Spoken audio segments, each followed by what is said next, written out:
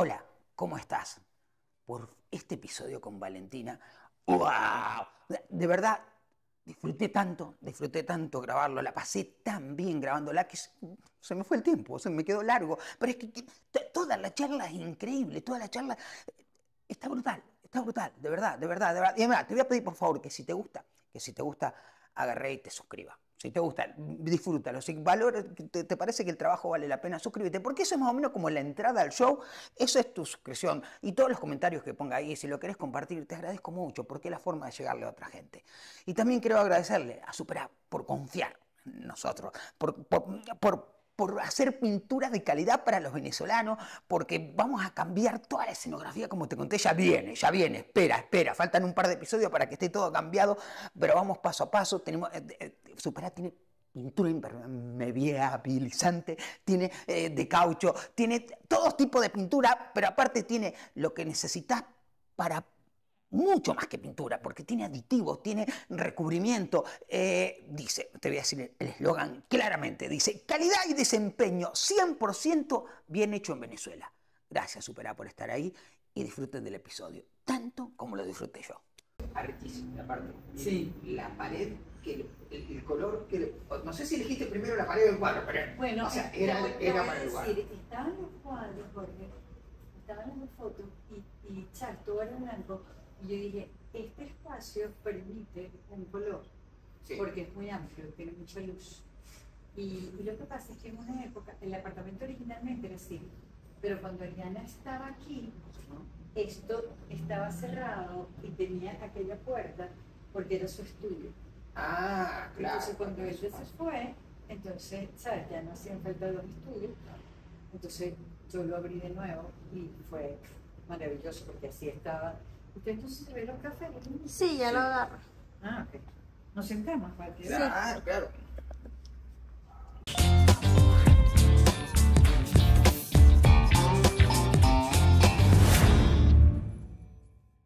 Valen, gracias una vez más por abrirnos tu casa. O sea que siempre lo cuento, siempre lo cuento. El otro día tuve la posibilidad de contarlo con Emilio, así que lo repito. Yo admiro a dos personas en el mundo. Tú eres una y Emilio es el otro. Y qué bueno que tuve la posibilidad de charlar con usted y mi mujer también, siempre lo cuento y tengo la posibilidad de, charlar también con ella. Porque yo bastante más. Sí, sí. Mira, Valen, eh, ¿qué te da tantas ganas y tanta fuerza?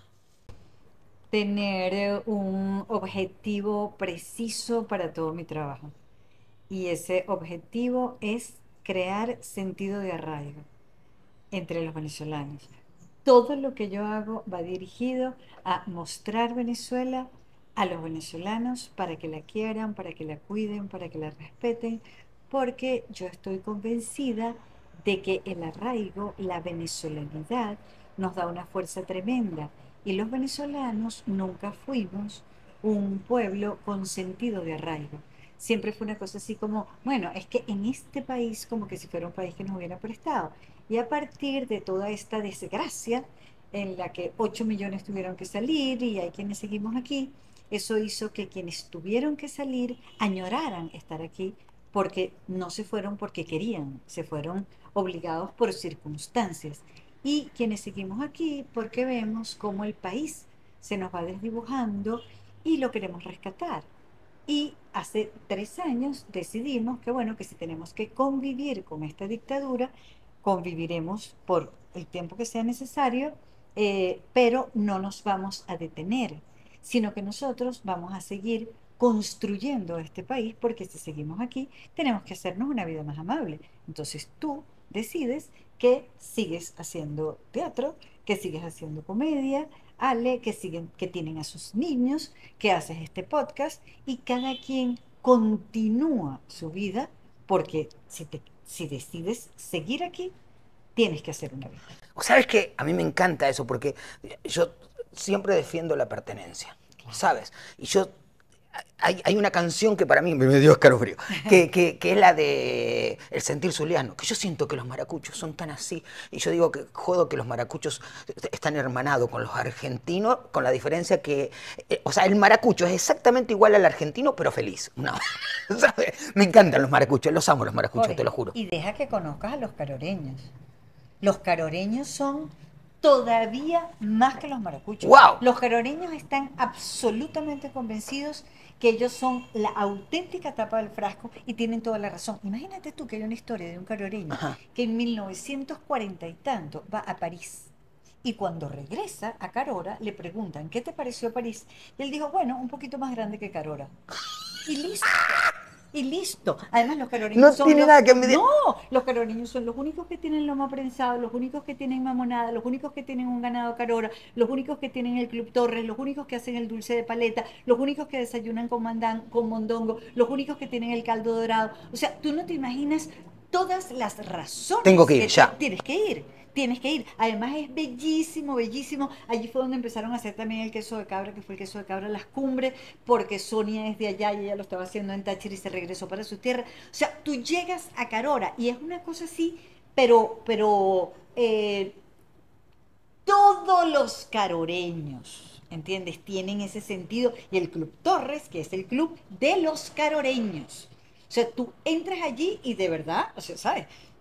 Eh, es una personalidad, es un arraigo, es un orgullo. Ellos piensan que, bueno, que Carora está de tú a tú ahí con Milán, con Nueva York, con París, con cualquier ciudad. O sea, es Carora. No, es una maravilla. de- de verdad, Ok. yo he pasado por Carora, seguramente he pasado por Carora, pero porque, pero, pero, la sí, pero Ah, bueno. sabes, pero yo quiero, sabes que hay distintas formas de viajar el mundo. Cuando yo empecé a mochilear, yo leía los libros. Y de hecho, yo me vine acá leyendo en Colombia a Teresa de la Parra y a Otrova Gómez antes de venir para acá, porque era la forma de conocer los países, era conociendo sus autores antes, lo que. De hecho, yo llegué y quería conocer Parque Central. Yo no sé qué era Parque Central para mí, pero como estaban los cuentos de Otrova, yo sé que hay uno de un hombre araña, y yo me imaginaba una locura. ¿sabes? Sí, sí, te lo juro. que fue en su momento. o Que- sea, sí, claro. Era el centro de esta ciudad donde además se movía toda la cultura. Totalmente. Se reunía todo el mundo. Cuando yo llegué todavía pasaba eso. Claro, de hecho, alrededor, exacto, alrededor del, exacto, de la Plaza de los Museos. Pero es tan diferente viajar con alguien que sabe eso que tú sabes, que cuenta, porque uno disfruta distinto todo. Ah, si no, está con, ¿sabes? Es como cuando te dicen con que comiste una arepa y vos decís, como todos los días una arepa, pero cuando yo sé que la arepa estuvieron mis hijos metiéndole la mano para prepararme la arepa para el Día del Padre, vos sabés que la arepa está toda choreta, pero tiene un sabor diferente. Y yo siento que ese es el sabor que vos le das a Venezuela. ¿Sabes? O sea, mira, mira lo que me pasó una vuelta, que te lo quiero contar, esto pasó hace muchos años. Tú- se lo he contado alguna vez a tu hijo. Mi- Mira, a, a tu hija, que. me- me- como a tu yerno le decís tu hijo, por eso se me mezcló. La vaina es que me pasó que estaba en. Había ido. Ay, no me acuerdo. Puerto Cabello, El Faro, un pueblo para allá adentro, ¿sabes? Voy para ahí. Y cuento que en tu libro decían de los pastelitos. Ah, voy a probar los pastelitos. Entonces yo llego y como estaba el libro, lo tenía en la mano. Y la mujer dijo, yo le digo, llegué por Valentina. Y me dice, vos llegaste por Valentina. Pero mis hijos estudiaron por Valentina. Yo a esa mujer es la persona que le debo todo. Ella me cambió la vida. Una vez me Era un puestito así, ¿sabes? Eso se los ha hecho a miles de personas en la vida. Una vuelta estábamos con Ale en Margarita y colgamos una toalla, ¿sabes? Afuera. Y vino el dueño de la toalla, el dueño de la toalla, el dueño del lugar, me dijo, muchachos, por favor, miren, yo puse un lugar ahí atrás para colgar. Porque un día pasó Valentina y me dijo que las toallas hace que se me pongan rancho. Lo pueden colgar atrás. Marica, ha marcado la vida de los venezolanos, ¿sabes? O sea, tal vez tú no, no sabes, pero de verdad, el amor que tú le pones a cada vaina que haces, marca la vida de la gente. Marca la vida de la gente. Lo que te digo, esa señora me dijo que sus hijos habían estudiado por eso. Y por eso siento que tu pasión avasalla, ¿sabes? O sea, eh, una Venezuela que tú cuentas es muy diferente a, una Venezuela. Decir, Vos decís, va a Venezuela. No es lo mismo a la Venezuela que te cuenta Valentina. Tú eres una enamorada de Venezuela. Y por eso tal vez eso del arraigo y, y- y, ¿sabes? Sembrada en Venezuela es como, marico, vengan a jalarme de acá porque me tienen que sacar con raíz y todo, ¿sabes? ¿Cómo te enamoraste? ¿Sabes qué pasa? Eh, yo digo siempre que tú solo amas lo que conoces. Y yo conozco casi que toda Venezuela. Entonces, en la medida en que viajas y conoces, no te queda más remedio que enamorarte. Y la otra es que no, o sea, nosotros hemos tenido mucho tiempo haciendo alarde nada más que de la geografía. Y la mayor fortaleza que tiene Venezuela son los venezolanos. Porque donde sea que tú llegues, la gente te va a atender, te va a querer, te va a consentir, te va a recibir. Fíjate tú que nosotros, como convivimos con eso todo el tiempo, no nos habíamos dado cuenta de que eso era así. Y todos estos viajeros que han llegado a Venezuela en estos dos últimos años, lo primero que dicen es la manera en que son los venezolanos, en que te reciben, lo extraordinarios anfitriones que somos, porque es nuestra naturaleza. Totalmente. De hecho, yo siempre digo, a mí me dice, ¿por qué te quedaste en Venezuela? Porque hay venezolanos, ¿sabes? O sea, no, no, es, no es solamente la tierra, sí es la primavera de Caracas y todo eso, pero el venezolano tiene otra forma de ser, otra, otra, forma de relacionarse con el mundo. Y creo que desgraciadamente también lo hemos descubierto, porque esos 8 millones que se fueron, también vieron que no hay... que, que- que- que el Venezuela, que, que lo, lo más bonito que tiene Venezuela es el venezolano. Entonces cuando vuelven, dicen, se encuentran con eso que los marca distinto. ¿Y, qué- y qué es ese gen?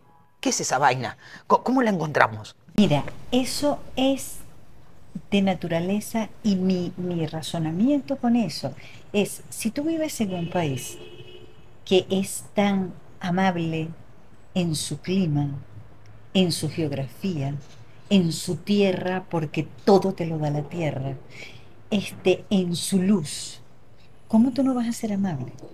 Si tú estás todo el tiempo en un eterno agradecimiento de las bondades de Venezuela.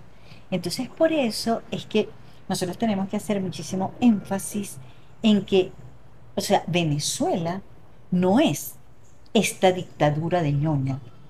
Venezuela es nosotros. Venezuela es su gente.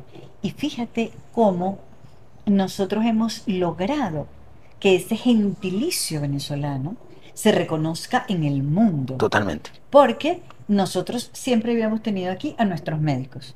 Y cuando aparecieron los médicos cubanos, entonces ahí sí que los médicos cubanos, que tan amables, no sé qué, y de repente resulta que nuestros médicos que están en el mundo, todas en todas partes los aman y los buscan por su calidez humana, porque así se formaron y porque son así. Tú ves, por ejemplo, toda esa gente que trabaja en la industria petrolera, que se fue a otros países a montar la industria petrolera en México, en Colombia, en Calgary, porque era un personal extraordinariamente bien formado por la PDVSA de antes, que ya no existe. Entonces, yo, ¿sabes? En, en este momento, mi, percepción de nosotros es que nunca habíamos exportado la venezolanidad. Y ahorita la exportamos. Porque los venezolanos nunca tuvimos necesidad de salir de aquí, porque lo teníamos Claro, todo aquí. claro. O sea, ¿para dónde íbamos a coger? ¿Qué podía ser mejor que estar aquí? ¿Ves? Porque nadie se va de donde es feliz.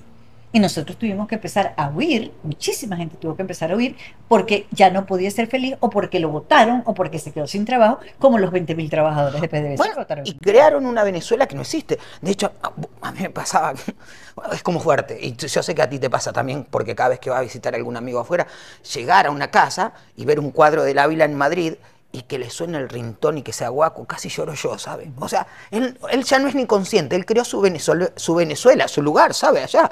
Y él habla de Venezuela, de una Venezuela que ya no existe, porque lleva como 12 años allá. Y yo, y yo estaba todo el tiempo así. Pero con- Jorge, ¿por qué crees tú que existen areperas en el mundo entero? Porque cuando estos venezolanos salieron, necesitaban conectarse con el país, cosa que nunca habían necesitado. Claro. Y es por eso que se crea la venezolanidad, por eso es que se crea el sentido de arraigo. Y entonces sale Lorenzo Mendoza y monta fábricas de harina pan en un montón de sitios para que la harina pan llegue a cualquier lugar del, del mundo para que estos venezolanos monten sus areperas y hasta monta un curso consumito Ajá. para que la gente sepa cómo puede montar una arepera, no solamente cómo hacer las arepas, sino cómo eso puede ser un buen negocio. Eso jamás había pasado. Bueno. los músicos, los músicos, el cacao, todo, Todo, todo, o sea, todo, todo. nosotros exportamos a Venezuela. no logramos. Es que a veces, como uno. De hecho, esto me pasa muchas veces, ¿sabes? Como, la, como el venezolano es venezolano, no sabe el entusiasmo que tiene para ciertas cosas. Un ejemplo, yo siempre. Mi, mi trabajo es la alegría, investigo sobre la alegría, me desvive la alegría. De verdad, yo siento que a lo mejor por momentos pasé tanta pena que encontrarme con la alegría me desvive. Y eh, eh, vos vas a España a dar un taller de los que yo doy y le, y le explico al mundo empresarial cómo llenarse de alegría, cómo contagiar, cómo generar esa cultura de la alegría. Yo doy los talleres acá en Venezuela y digo, Marico, tenemos que bajarle dos, porque si no se nos va la mano. La alegría del venezolano te desborda. Donde sea la solidaridad, te como tú, no estás recibiendo en tu casa, ¿entendés? ¿Y cómo enamoramos de vuelta al que está? ¿Cómo le hacemos entender que hay... ¿Sabes? Yo, yo siempre digo que esto, ah, lo intangible en el ser humano, tiene un valor increíble, pero como no lo toca, no lo ve, ¿sabes? Solamente se acuerda cuando, cuando dice, ojalá Dios me ayude, vaina así. ¿Cómo enamoramos al venezolano del intangible venezolano? ¿Cómo se lo mostramos? Bueno, yo, yo tengo la impresión, Jorge, que, que nosotros lo sabemos, que nosotros lo tenemos claro, que nosotros sabemos que somos así. eh, y lo, y, y- y lo reconocemos y lo valoramos. Y, pero lo habíamos perdido. Ok, sí. Había una, había mucho dolor, había una tristeza inmensa, una frustración enorme. Y fíjate que cada vez que viene una gente de afuera, yo decía, ¿por qué cuando llega un extranjero y empieza a hablar bondades de Venezuela en las redes, todos los venezolanos lo siguen frenéticos? Y quienes tenemos años aquí haciendo lo mismo, uno dice, pero bueno, si tengo años, se me cae la lengua de decir que todo esto existe. Porque nosotros teníamos la autoestima por el piso.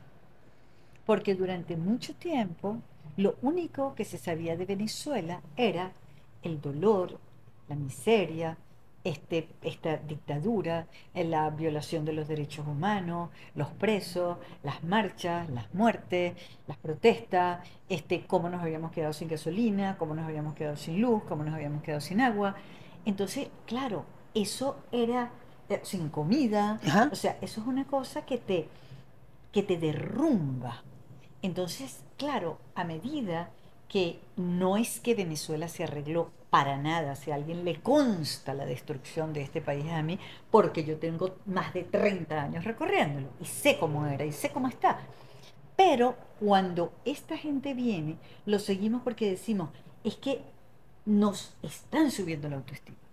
Ellos están reconociendo algo que nosotros pensamos perdido Ajá. y resulta que está y que nosotros lo mantenemos. Y tú ves eso cuando, fíjate, aquí el café se había acabado.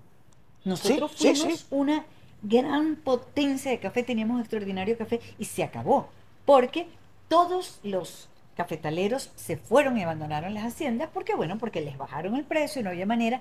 Y entonces ese regreso a la tierra con el café, nosotros, eh, donde sea que tú llegues en cualquier casa, lo primero que te van a ofrecer es café. Siempre. Como acá. No, exacto, no importa, tú puedes llegar a un ranchito, una casita por allá, lo más humilde del mundo, donde la señora Sí, lo sí, único que tiene es café y ella te lo va a brindar. Y eso se había terminado. Entonces yo creo que esa vuelta del café, esa vuelta del cacao, esa vuelta de la tierra, nos, nos animó. O sea, ¿sabes? Porque tú sabes lo que significaba para un venezolano que alguien llegara a tu casa y tú no tenías café para brindarle. claro. Eso era una tragedia. Pero también el salir, porque, ¿sabes? Una cosa era ir a Miami, porque digo, el venezolano que iba a Miami, y otra cosa es salir a conocer. Un ejemplo, yo vengo ahora de Dominicana, ¿no? De dar una vuelta por, Jamaica, por Dominicana, y yo le decía Ale, coño, las playas dominicanas son bonitas, pero ¿sabes cuánto le falta para llegar a la tortuga, a los roques? Es más, chichiribichi, ¿sabes? ¿Sabes cuánto le falta? ¿Qué tienen? Infraestructura. ¿Qué tienen? Una atención, ¿sabes? O sea, mira algo que pasaba que yo ni sabía, no me había dado cuenta. Me dijeron, pero vos te diste cuenta que ahí te muestran siempre la carta para cobrarte. ¿Sabes? Siempre. Para, porque el precio va a ser ese. Ese, ¿sabes? No es que te van a decir, bueno, el precio ahora te lo cambio de cosas, según la cara, según cómo hablas, que te voy a cobrar. Y entonces, en, en- en ese sentido decía, conchale, o sea, que el venezolano que tiene cosas de tanto valor, tal vez ahora que se fue, ahora que vive en Dominicana, ahora que vive en Costa Rica, ahora que vive en otro lado, dice, en Chile, dígame, ahora dice, marico, pero playas son las mías, ¿no? Claro. Ahora empezó a enamorarse, porque Claro. a veces uno está mirando para afuera, ¿no? Y en ese mirar para afuera le cuesta como enamorarse de quién es. Bueno, es que ahora tienes otras referencias y fíjate tú lo que ha sucedido con los venezolanos que han venido a visitar, Ajá. que les entra una emoción infinita porque tenían 10 años sin pisar Venezuela y de repente lo ven todo muchísimo más hermoso porque probablemente ni siquiera habían viajado por Venezuela, Ajá. nunca habían salido Ajá. de Caracas y entonces cuando vienen quieren ir para todos lados y entonces aquí, o sea, los venezolanos nunca fueron a Canaima. Sí, y ahora todos estos van a Canaima. Jamás fueron a Los Roques ahora van a Los Roques. O sea, van a, van a Morrocoy, siempre fueron los venezolanos. ¿Sabes? Pero, pero es una cosa como reconocerse de nuevo. Fíjate tú que eh, eh, cuando, cuando nosotros tengamos un nuevo gobierno, eh, tenemos que tomar medidas importantes y además que no cuesten dinero. Medidas de estas que llaman efectistas. Y yo creo que la primera gran medida en el momento de un cambio de gobierno es darle pasaporte a los 8 millones de venezolanos que están afuera. Claro. Porque eso nosotros, yo, bueno, yo que tengo años tratando de que Venezuela sea el gran destino de turismo sostenible de América, los primeros turistas que nosotros vamos a tener son esos billones de venezolanos que ya hicieron una vida afuera, pero que quieren venir a visitar y que quieren traer a su esposa, que es mm, rumana, Ajá. que quieren traer al novio, que es belga, que quieren traer a los niñitos que nacieron en Berlín, que, ¿sabes? Y, y, y bueno, y quieren venir, quieren traerse su familia para acá. Eh, y yo sí creo que el hecho de haber eh, tenido que salir y haber empezado desde cero en otros países, evidentemente ha hecho que, que bueno, que reconozcas lo que tenías. Claro, claro. ¿Ves? Y eso es lo que nos ha dado esa venezolanidad que yo siento, porque fíjate tú, Jorge, que al principio, cuando toda esta diáspora comenzó, había casi un pleito entre quienes se fueron y quienes seguimos acá. Totalmente, es verdad. Y eso se acabó. Sí, sí, porque Eso también sí. es razonable que se fueran ya desde el dolor, ¿sabes? Yo tengo amigos que se fueron que dijeron, yo no vuelvo nunca más ahí, ¿sabes? A esa vaina. O sea, o me ha pasado ir a algunos lugares y dijeron, porque tú que vives sin luz, marico, o sea, de verdad que se va la luz, pero ya no se va tanto en Caracas como yo. O sea, hay cambio. Se- hemos logrado poder vivir mejor también los No que decidimos. Eso, Jorge, sino hay que hacer una molestia. O sea, yo digo, todo venezolano tiene derecho a ser feliz viviendo en Venezuela. Totalmente. ¿Sabes? Tenemos todo el derecho, igual que lo tiene cualquier venezolano que está viviendo fuera y está feliz afuera. Es que todo ser humano tiene afuera. Derecho a vivir en el lugar que se enamore y que sea productivo y que lo que, o sea, de hecho, lo que tú decías recién, hay gente que dice, "Bueno, a mí me pasa, ¿sabes? Por hoy voy a visitar a mis hijos a Costa Rica, la otra vuelta estoy en una barbería y le digo, no, es que, claro, todavía no tenía el pelo verde en ese momento, me lo había cortado, y me dice el tipo, ah, porque usted es diplomático, le digo, no, porque pensaba que era argentino diplomático en Costa Rica, en, en Venezuela, le digo, no, no, no, yo vivo en Venezuela, Eh, y me dice, ¿y se puede vivir en Venezuela? Y se empieza a contarme, yo le digo, hermano, sí, ¿sabes? Se puede vivir. O sea, hay diferencia, indudablemente, no hay los carros que pasan por tu calle, tal vez me dice, claro, porque usted trabaja en el gobierno. Le digo, no, marico, o sea, o sea de primero, pero, claro, pero Es que salgo. si tú vives en Venezuela y vives bien en Venezuela, tú eres un enchufado. Eso es lo primero. No, hay montones de gente que vivimos en Venezuela de nuestro trabajo y lo tenemos y lo tenemos desde hace muchísimos años y lo podemos hacer. Y la, la felicidad, cuando tú hablas de la búsqueda de la felicidad, la felicidad que yo cargo siempre es porque yo viajo por toda Venezuela y veo la cantidad de gente que está construyéndose una vida y construyendo el país desde ahorita. Me consigo con un niño en la mesa de Guanipa que sembró 200 mil árboles para hacer un bosque para que sus abejas puedan estar. Me consigo otro que montó una hacienda de, o sea, una, una mm, cosa de cerdos y ya tienen 12 mil cerdos allí y hacen todo el proceso y mandan la carne por todo el país. Me consigo una señora que insiste teniendo su posada. Me consigo a montones de personas sembrando cacao y además, o sea, haciendo todo el proceso del cacao con una enorme con un enorme rigor para producir el mejor chocolate del mundo si tenemos el mejor cacao del mundo. O sea, hay gente en toda Venezuela haciendo Sí. cosas. Acabo de llegar de Amazonas, yo llegué de Amazonas hace dos días y en Amazonas dijimos, bueno, ok, nosotros tenemos que impulsar de nuevo el turismo en el Amazonas y ahí está una carricita que se llama Fátima del Amazonas que está empeñada en hacerlo, y Javier, que se había retirado del turismo, está haciendo ahora una alianza con ella, y los dos van a hacer que Amazonas... ¿Sabes? Y así estamos en todas partes. Creo Daniel. que ese es un punto. Nos hemos juntado. Nos hemos juntado, los de afuera, los de adentro. No, no- nos hemos juntado. Y yo siento, ¿sabes? Otra cosa que, que a lo mejor no es tan visible. Bueno, sí es visible, tal vez más por Instagram en tu caso, que es tu familiaridad. Y yo siento que eres, ¿sabes?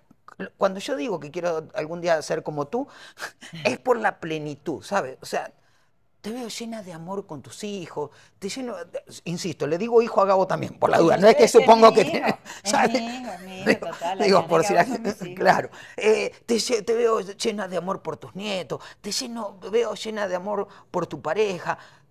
Para, ¿siempre fuiste así? No. Ok, Mira, hay una condición, créeme, que solamente te da la edad. Yo voy a cumplir 70 años en junio. ¿en junio? Sí. Yo también. No 70, pero sí en junio cumpleaños. Yo iba a decir. 50. Ok, este, me peleé los ojos. y dije, Ay, me di no, cuenta, me di no. cuenta. Este, y este, o sea, para mí, este momento de mi vida es, primero, la plenitud, porque yo solamente hago lo que yo quiero hacer. Yo tengo la lista de no inmediatos. Wow. ¿sabes? De cosas a las que me invitan, que quieren que haga que no sé qué, a las que yo de una vez digo que no. Y no es que no, que voy a estar viaje y digo, no, no, no, no lo voy a hacer, ni ahorita ni nunca. ¿Ok? Este, y por otra parte, esto es lo más insólito que a mí me ha pasado, es la creatividad. Ok. Domingo, Jorge, Me da lo mismo, Ajá. soy el mismo. la, la lucidez. Yo no puedo creer la cantidad de ideas que me vienen a mí a la cabeza por minuto. Yo me levanto en la mañana y yo a las 5 de la mañana muchas veces me tengo que parar de todo lo que se me ocurre, de cosas que, que, que no, no sabía cómo las iba a resolver y todas se resuelven haciendo los guiones Sí, para el sí. programa. Yo me siento en la computadora y empiezo a ver el material y es una cosa así como pa, pa, pa, pa, y lo resuelvo completo en minutos. Pero aparte, tus guiones o todo. Mira, el- el- ahora te- te- se- voy a poner ese videito acá en esta misma vaina de cuando te llega la placa de YouTube. Y yo digo, es tan Valentina, ¿sabes? Es tan Valentina. De hecho, yo, yo hoy- no, pero es que hoy le contaba a los chavos, a ellos, porque ellos saben quién eres tú, pero le decía, mira, esto es Valentina, ¿sabes? Una señora que sale corriendo y que la hermana, porque tiene, eh, porque ese- esa importancia del- de, de- de- de los amigos, de la familia, que es muy venezolano, también te sigue grabando y tú llegas con esa emoción y le dices, como, de hecho te describes como un adolescente porque sientes eso, pero pasan dos momentos mágicos. Le dices a la persona que te da el regalo, le dice, le dice, dame un abrazo. O sea, marico, esa, esa emoción, ese, este, vamos a celebrarlo juntos. ¿Qué es lo que tú haces? Compartes cariño. Y cuando tienes la placa, hay algo que, bueno, tú le dices al público, le dices, no lo voy a abrir. Lo voy a abrir cuando estemos todos. Y fue así como, mierda, ¿sabes? O sea, siempre lo veo, ¿sabes? O sea, tus triunfos son Todavía compartidos. cerrada, todavía cerrada, porque yo dije, ¿cómo yo voy a abrir esto sin mi equipo? Eso. No lo puedo abrir sin mi equipo. Y Ariana me dice, Marica, no la vas a ver. Y le dije, Ariana, yo, yo, yo no la puedo ver. O sea, tenemos que estar juntos. Pero es que eso creo que te hace tan Valentina, ¿sabes? Eso, eso, eso, eso de saber que sos equipo. Hay burda gente que piensa que es él, que trabaja para Lego en vez de para Lago, ¿no? Y, y tú eres equipo, ¿sabes? ¿Sabes que lograr en un año 100 mil suscriptores? Tú dices, ah, lo- que marico, o sea, la, la muer- los youtubers morirían por conseguir eso. Pero creo que es que, y por eso es lo que es que es muy tu gen, es tu, muy tu esencia, es muy, eh, vamos a enamorarnos de Venezuela, pero, ¿sabes? A mí me enamora verte enamorado de tus hijos, Sí. de tus nietos. Sí, no, no, o sea, te- es que, mira, em, los nietos, yo, todas mis amigas tenían nietos y yo no. Porque bueno, porque Ariana tuvo sus hijos mucho más grandes. Y yo no soy, nunca fui de estas mujeres que, ay, niqui, niqui, niqui", con los niñitos. Nunca, nunca. O sea, no se me daban. Es más, yo visitaba a mis amigas cuando estaban con los nietos y me iba porque decía, aquí no se puede hablar. ¿Ves? Aquí no se puede hablar porque cada uno está conversando y están todo el tiempo. "Ay, cuidado, cuidado, pues, Daniel, ya va Carolina. ¿Sabes? No, no, no, no, no. yo- Hasta que tuve los míos.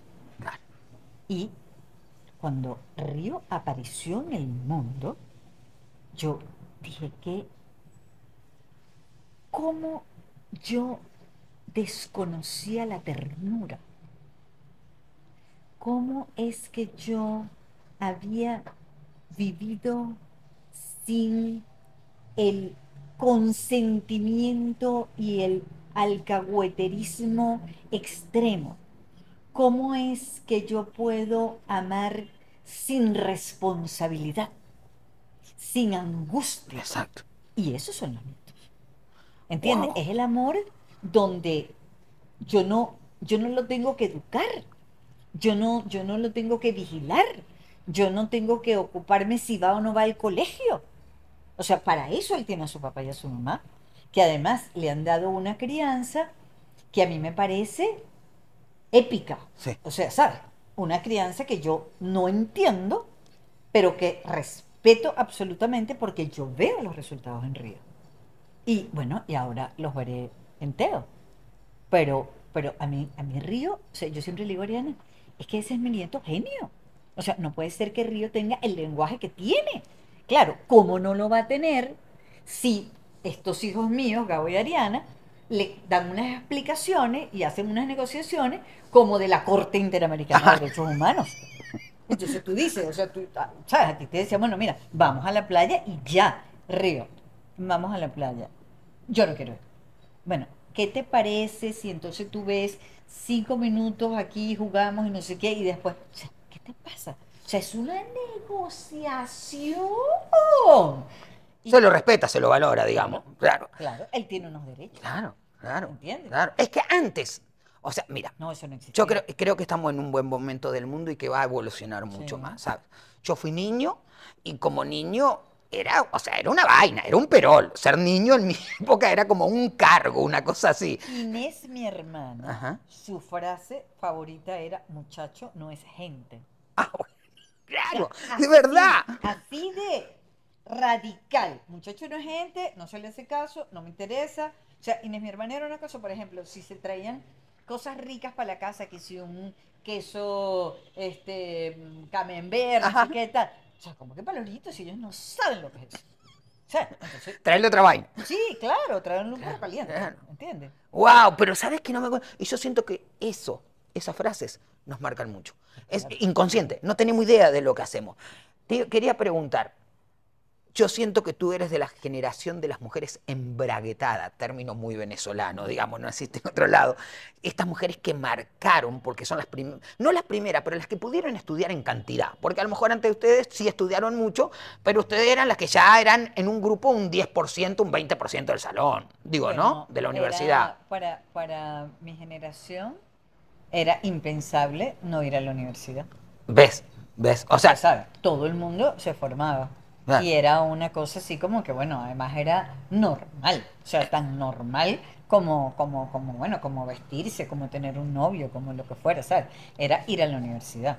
Eh, y, y sí, en, en- en Venezuela, y yo creo que en Latinoamérica en general, las mujeres eh, nos ha tocado ser muy fuertes y muy determinadas porque por lo general eh, pues criamos solas a los hijos.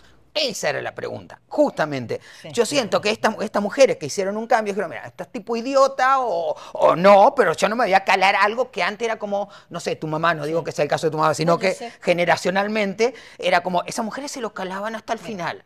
Ahora mira, La única independencia real es la económica. qué cuando buena frase. Tú este, eres independiente económicamente, tú no te calas nada. Hay muchísimas mujeres que se han seguido calando a un marido única y exclusivamente porque las mantiene. Y llegan como a un acuerdo de yo quiero seguir teniendo esta vida cómoda que este señor me da, así el tipo sea un ratapelúa o un imbécil o lo que sea, pero se lo siguen calando. cuando tú tienes independencia económica, tienes tu casa, tienes tu trabajo, tienes vida propia, la única razón para estar con alguien es porque tú lo quieres. Punto. Mira, No hay más nada. Y cuando eso es así, lo único que determina eh, un rompimiento es dejar de querer. wow, totalmente. Qué bonito. Sabes que me quedé con un- la pregunta en ese momento que tú me estabas contando que me marcó. En esto de las etiquetas, que yo sé que las etiquetas no se separan, pero ¿qué tan difícil era ser mujer trabajadora? O sea, la del trabajo, la madre y la mujer. O sea, la, la mujer que se atiende a sí mismo en esos Mira. tiempos. Allí hay, o sea, decides tus prioridades. Ok. Y la mía fue el trabajo. Porque, eh, por ejemplo, eh, esta cosa de ahorita de estas mamás, y tú lo ves en Ale y lo ves en Ariana, que el día que van a llevar a la criatura a la guardería eh, es una tragedia. ¿Entiendes? Es una tragedia que ya va, que yo la llevo nada más media hora, lloran como dumbo, se sienten como unas madres degeneradas. Yo llevé a Ariana a la guardería el primer día, Ariana tenía 11 meses, Ariana casi no caminaba y tenía que caminar, y yo le dije, tienes que caminar. Y entró a la guardería, la dejé a las 7 y media de la mañana y la fue a buscar a las 5 y media de la tarde. Wow. Desde el primer día. Porque ahí había solamente dos opciones. O Ariana iba para la guardería todo el día para que yo trabajara, o nos íbamos las dos a vivir bajo el puente del Guanábano a que nos dieran Claro, limosna. claro. Punto. O sea, ahí no hay otra alternativa. Porque esta cosa del trabajo en tu casa, que si el trabajo remoto, que si... No, no, no, no, no, no. Eso es horario. Eso es desde las 8 de la mañana hasta las 5 de la tarde en la Biblioteca Nacional. Trabajando. O sea, ¿sabes? A mí, sí me- bueno, y yo tenía un combo de amigas que buscaban a Ariana en la guardería cuando yo no podía, porque jamás, jamás yo conté con su papá. El papá de Ariana es una ausencia. Lo fue y sigue siendo. Entonces, nada, lo tenía que hacer yo. Entonces, claro, mi prioridad fue el trabajo. Entonces, yo valoro infinitamente y me llena de una ternura muy profunda ver a Ariana dedicada a la maternidad. Claro. O sea, ¿sabes? Eso en mi caso era impensable. Ahora, ya tenemos la maternidad, ya tenemos el trabajo. Amor al trabajo profundo, lo cual se nota, se siente y siento ese agradecimiento, haber encontrado el trabajo que te enamora, todo eso es brutal. Eh, esto, esto de la maternidad que lo vivís en tu hija y que lo vivís siendo abuela, ¿cuándo empezaste a quererte? ¿Cuándo empezaste a atenderte? Tener un trabajo que me hace tan feliz es quererme tiempo completo. Qué hermoso. Porque si yo hubiera tenido que trabajar en el Ministerio de Obras Públicas, siendo la jefe de prensa, eh, yo hubiera sido una tristeza ambulante. O sea, cuando yo entré a trabajar en la Biblioteca Nacional en los 80, o sea, tan pronto como Ariana en el 81, yo regresé de estudiar en Boston y lo único que yo quería en la vida era trabajar en la Biblioteca Nacional ¡Wow! solamente. Y yo estuve dos meses yendo a diario porque allí era donde yo quería trabajar. Porque yo quería, yo había estudiado medios audiovisuales para la educación y yo quería que las bibliotecas públicas, que era parte de la Biblioteca Nacional, que era Instituto Autónomo Biblioteca Nacional y Servicios de Biblioteca, se convirtieran en unos centros de media donde no fueran solamente los libros, sino medios audiovisuales para que la gente fuera allá. Y cuando yo entro a la Biblioteca Nacional, me consigo con esta heroína de la tierra, que es Virginia Betancourt, donde cuál era el objetivo de la Biblioteca Nacional.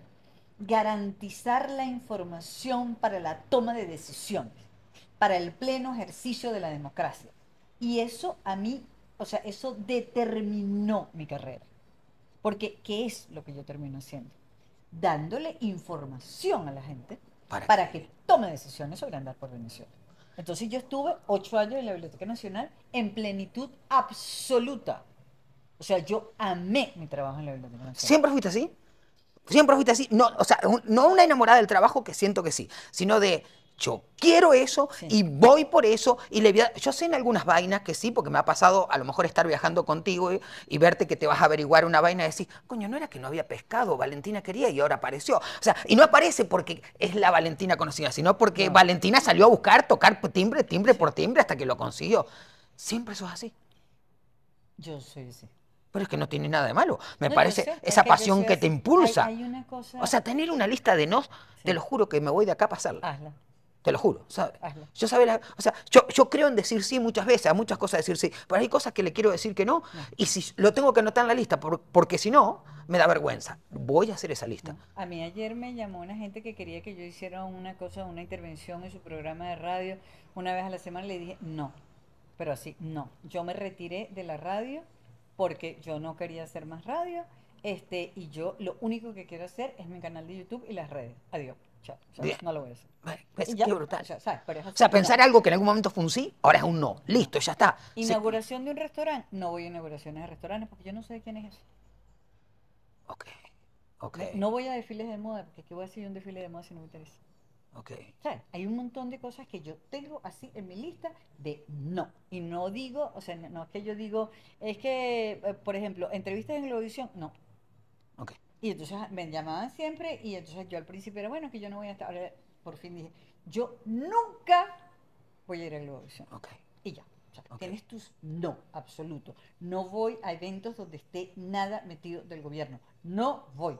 Bien. No hago publicidad relacionada con turismo porque hay un conflicto de intereses. No la hago. No importa que sea mi primo, no importa lo que me pague, no lo hago. No hago publicidad si tengo que mandar mis contenidos primero, porque entonces empiezan las necias de la agencia de publicidad, está opinando. No lo hago. No mando contenidos primero. Si tú me contrataste porque tú confías en lo que yo voy a hacer. Y así voy. Brutal. Con Brutal. un montón de cosas Me, de pare- no. me parece increíble porque a veces la gente cree que los no son frenados, no, y los fre- no te impulsan porque te dejan ver los sí. Pero mira, no me quiero ir, o sea, este va a ser el podcast más largo de la historia, de hecho, pero no me quiero ir sin, ¿sabes qué? Hay algo, yo te veo muy enamorada de tu pareja, pero aparte, siempre vi a tu pareja muy enamorada de ti. Y eso me parece brutal. Me parece que tú eres un ser humano que enamora a los otros seres humanos. Mira lo que ocurre. Alfredo va a No cumplir, quise decir nombre No, para no cagarla. Alfredo va a cumplir 76 años y yo voy a cumplir 70.